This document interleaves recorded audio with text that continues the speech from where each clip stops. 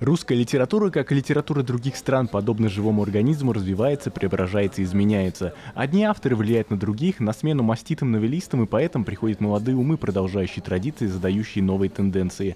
Проводником в мир книжных грез, связующим звеном между читателем и автором служат издатели. Елена Шубина, редакция, под началом которой стала брендом и знаком качества, неизменно открывает новые имена и заставляет остро звучать старые. Именитый издатель провела творческую встречу. Ну, чтобы книгу вот так взять в руки, чтобы я ее сделала.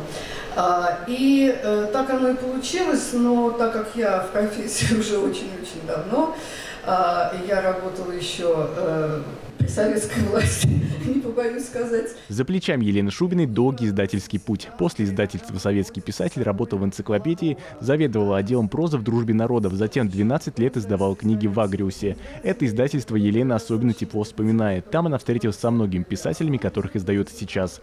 Наконец, в 2008 году Елена возглавила редакцию русской прозы ВСТ. Елена – лауреат премии «Книжный червь» за популяризацию прозы, формирование безупречного литературного вкуса и создание высоких стандартов работ. Как всегда, проза занимается, во-первых, все, всеми своими внутренними задачами, задачами искусства.